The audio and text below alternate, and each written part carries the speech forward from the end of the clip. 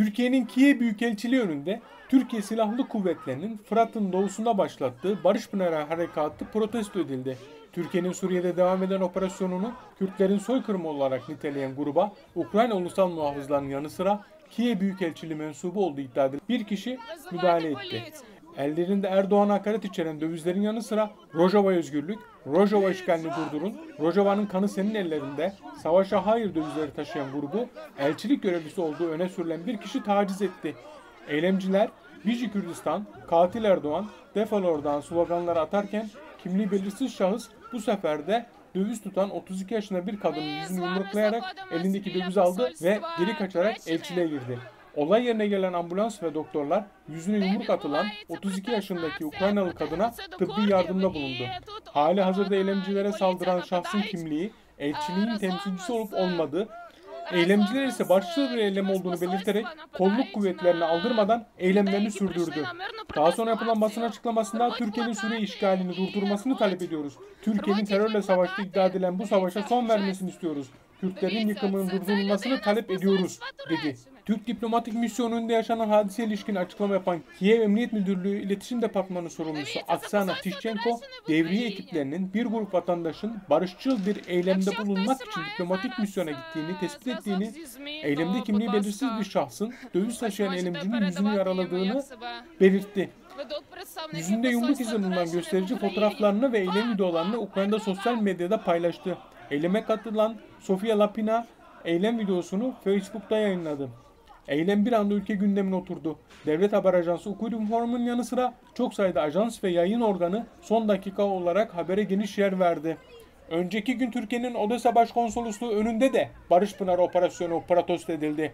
Ukrayna'nın Karadeniz kıyısındaki liman şehri Odessa'da polis 3 eylemciyi gözaltına aldı. Solcu örgüt Nihilis tarafından yapılan açıklamada eylemcilerin Rojava'yı kurtarın ve saldırıyı durdurun yazılı dövizler taşıdığı bildirildi. Kendilerini liberal ve sosyalist olarak tanımlayan eylemciler, Türkiye'nin askeri operasyonunu durdurma çağrısı bulunan dövizleri çıkarttıkları anda gözaltına alındılar. Eylemlerinin barışçıl olduğunu ifade eden iki şahıs daha sonra polis tarafından serbest bırakıldı. Ukrayna yasalarına göre barışçıl gösteri ve eylemler için önceden mülki idareden izin almaya gerek yok.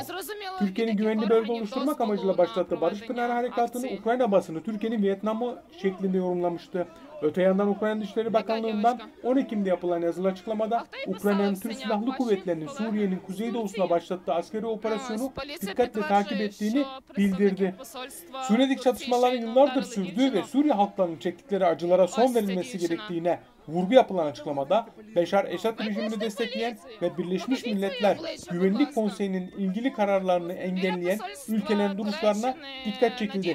Açıklamada BM Güvenlik Konseyi'nin ve Türkiye'nin de dahil olduğu ilgili taraflardan oluşan üyelerinin güvenlik ve insani konularla ilgili sorunları uluslararası hukuk çerçevesinde çözümüne yönelik karar almalarını bekliyoruz denildi.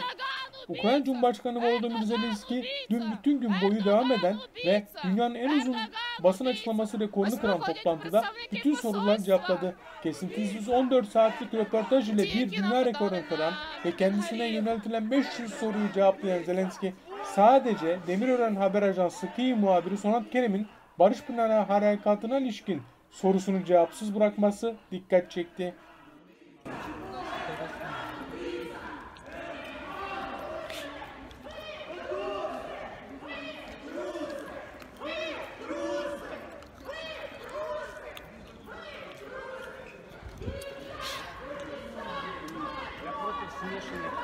Биржа,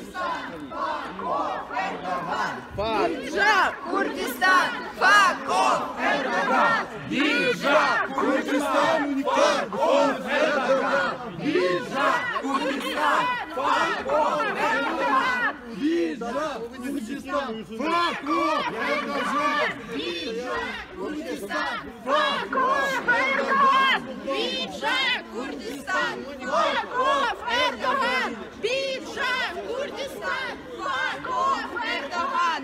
Биджак! Курдистан! Факов! Эрдоган! Биджак! Курдистан! Факов! Эрдоган!